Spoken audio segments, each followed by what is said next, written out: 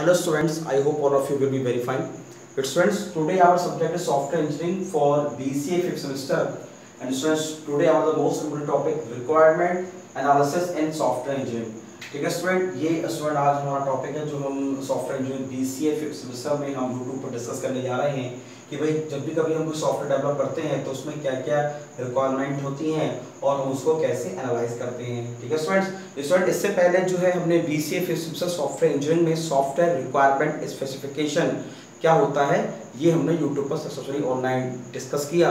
और स्टूडेंट इसके ही सीक्वेंस में आज स्टूडेंट हम डिस्कस करने आ रहे हैं requirement analysis in software engineering ठीक है स्टूडेंट चलिए आइए करते डिस्कस अब देखो स्टूडेंट्स जब भी कभी हम स्टूडेंट्स कोई भी हम सॉफ्टवेयर बनाते हैं तो सॉफ्टवेयर बनाते समय जो हमारे बेसिक नीड्स होती हैं, उसका हम जो है बहुत ज़्यादा ख्याल रखते हैं। बिकॉज़ क्योंकि इसमें स्टूडेंट कस्टमर ही सब कुछ होता है। कस्टमर के लिए हम हम जो है सॉफ्टवेयर बनाते हैं प्रोडक्ट बनाते हैं और अगर कस्टमर सेटिस्फैक्शन नहीं होगी तो वो जो है प्रोडक्ट किसी काम का नहीं है। तो कहने का मतलब ये है कि भाई जो जो भाई ज़ाहिर सी बात है जो रिक्वायरमेंट है, भाई कस्टमर ने जो हमसे कहा है काम करने की तो हम क्या करेंगे? हम उसको एनालाइज करेंगे ताकि जो है हम एक, जो है एक अच्छा सॉफ्टवेयर को बिल्डअप कर सकें। ठीक है? तो इसमें इसमें स्टूडेंट्स आइए इसको समझने की कोशिश करते हैं रिक्वायरमेंट एनालिसिस को। तो it is a process of defining documenting and maintaining तो ये एक प्रोसेस होता है जिसको हम डिफाइन करते हैं प्रॉपर डॉक्यूमेंटिंग जैसे हमने एसआरएस में पढ़ा कि is the process of defining documenting and maintaining the requirements कि भाई रिक्वायरमेंट्स क्या है, उसको मेंटेन कर सकें। It is a process of gathering and defining service of provide by the system requirement engineering process जो हमारा सिस्टम रिक्वायरमेंट इंजीनियरिंग प्रोसेस है, वो हमें कौन कौन सी हमें सर्विस प्रोवाइड कराएँगे तो हम उस इंफॉर्मेशन को जो है गैदर करते हैं। और देखो स्टूडेंट इसमें जो मेन जो बहुत ही इंपॉर्टेंट जो फ़ेज़ है, इसके जो स्टेप्स हैं, वो हमारे क्या है ड्रॉ द कॉन्टेक्ट डायग्राम भाई भाई, इसमें जो है हम पूरा एक, हम पिक्चर को हम करते हैं क्लियर कि भाई जो है एक्टिविटीज़ कैसे परफॉर्म होंगी। डेवलप प्रोटोटाइप प्रोटोटाइप को हम जो स्टूडेंट जो है हम डेवलप करते हैं कि भाई प्रोटोटाइप और प्रोटोटाइप जैसे हमने student rapid application development model में से हमने पहले पढ़ा मॉडल रिक्वायरमेंट वही है कि ऑन फाइनलाइज द रिक्वायरमेंट उसके बाद हम उसको फाइनलाइज करते हैं। तो मतलब रिक्वायरमेंट जो है स्टूडेंट को हमारा सॉफ्टवेयर डेवलपमेंट में बहुत बड़ा फ़ेज़ है और हम उसको जो है गैदरिंग कैसे करते हैं। जैसे मतलब इसमें अब तो स्टूडेंट एक्सी वो कौन सी एक्टिविटीज़ हैं जिसके द्वारा हम जो है रिक्वायरमेंट को हम गैदर कर सकते हैं। तो इसमें स्टूडेंट पहले ये चार फ़ेज़ है। पहले हम इसको डिस्कस कर लेते हैं। Requirement initiation and requirement specification, requirement verification and validation and requirement management. तो स्टूडेंट पहले आप समझने की कोशिश करते हैं रिक्वायरमेंट इनिशिएशन क्या है। तो ये क्या है student it is the activity during which software requirement are discovered तो मतलब स्टूडेंट ये क्या है? वो एक्टिविटी है कि भाई जब हम सॉफ्टवेयर रिक्वायरमेंट हमारी क्या होती है? डिस्कवर होती है कि भाई है क्या? हमें कैसे चीज़ों को करना है। Uh, तो it is the activity during which software software software requirements are discovered articulated and revealed from the stakeholders or derived from the system requirements. Sources are documentation, customers and users, domain specialists, etc. It, uh, it asks customer the relevant question in an understanding the problem, analyze it, confirm their understanding and create requirements. Yes, जैसे इसमें मैंने आपको बताया customer ही सब कुछ होता है customer की जो भाई प्रॉब्लम है उसको हम सुनते हैं उसको हम एनालाइज करते हैं और उसको फिर हम फाइनलाइज करते हैं तो उसमें क्या लिखा होगा कि it is relevant question in understanding of the problem analyze it confirm their understanding and create requirement statement उसके बाद हम उसको हम उसको एनालाइज करते हैं अंडरस्टैंड करते हैं फिर जो है रिक्वायरमेंट स्टेटमेंट्स को हम बनाते हैं। तो ये हमारा कहलाता है? रिक्वायरमेंट इनिशिएट इनिशिएशन बहुत ही इंपॉर्टेंट है, क्योंकि कस्टमर पर डिपेंड करता है फुली एंड फंक्शनली आगे है रिक्वायरमेंट एनालिसिस एंड नेगोशिएशन ये स्टूडेंट एक स्टेप छूट गया। रिक्वायरमेंट एनालिसिस एंड नेगोशिएशन इसको लिख लीजिए आप requirement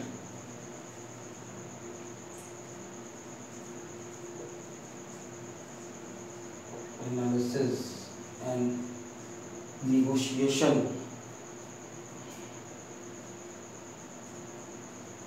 and negotiation ठीक है? इसको भी इसको उसको कर लेते डिस्कस तो देखिए रिक्वायरमेंट एनालिसिस एंड नेगोशिएशन का स्टूडेंट्स का मतलब है?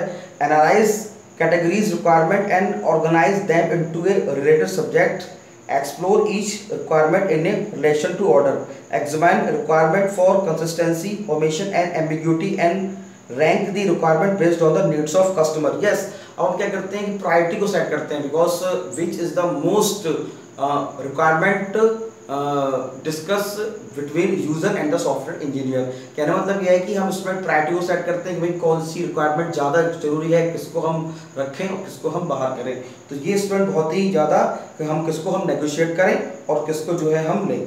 ठीक है? उसके बाद है स्टूडेंट रिक्वायरमेंट स्पेसिफिकेशन जो हमने स्टूडेंट सेकंड पॉइंट पर लिखा हुआ है।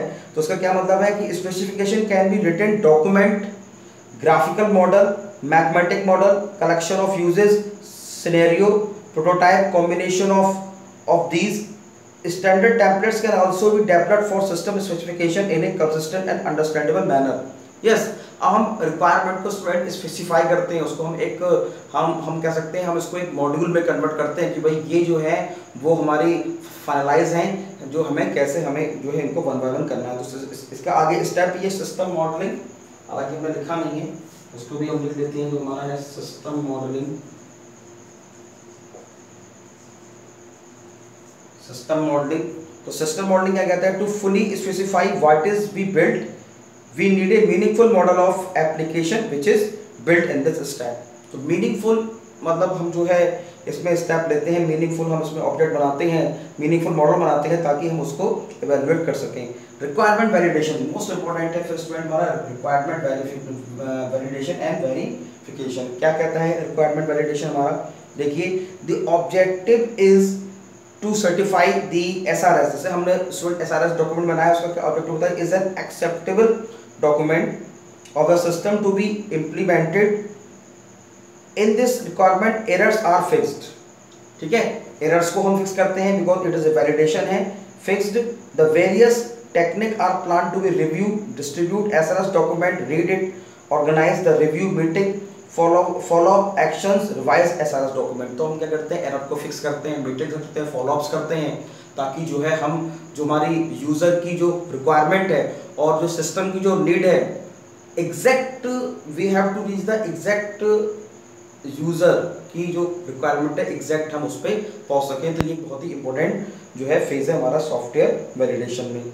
ठीक है, उसके बाद स्टूडेंट हमारा आता है रिक्वायरमेंट मैनेजमेंट उसको समझ लेते हैं। तो it is the terminate it is a systematic approach for eliciting organizing and documenting the requirement of the system and process the establish and maintain the agreement between customer and the project customer और project के बीच में एक agreement होता है तो उसको हम स्टूडेंट रिक्वायरमेंट मैनेजमेंट बोलते हैं इससे शुरू में कहा कि it is the systematic approach for eliciting organizing and documenting the requirement of the system and is the and it is the established the uh, establish the agreement between the system uh, the, between the customer and the project on the changing requirement of the system so it is done in order to understand the problem the software system is in, uh, to, solve the problem could be automating an existing ma manual uh, process developing a new automated system combining of the two ठीक है तो ये हमारे तो The emphasis is, requirement analysis is in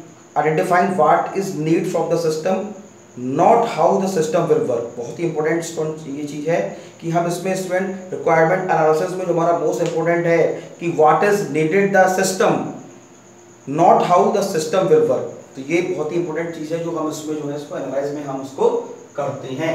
अब देखो student requirement analysis में एक बहुत ही और इंपॉर्टेंट स्टेप ये है कि भाई जब हम रिक्वायरमेंट एनालिसिस करें तो दो बहुत ही, एक तो है रिक्वायरमेंट स्पेसिफिकेशन दूसरा है प्रॉब्लम एनालिसिस यानी कि हम रिक्वायरमेंट में जो हमारा रिक्वायरमेंट है उसको हम कैसे स्पेसिफाइड करें, इसमें लिखा भी है रिक्वायरमेंट स्पेसिफिकेशन और प्रॉब्लम एनालिसिस तभी जो है हमारी रिक्वायरमेंट सॉफ्टवेयर इंजीनियरिंग में पूरी मानी जाएगी।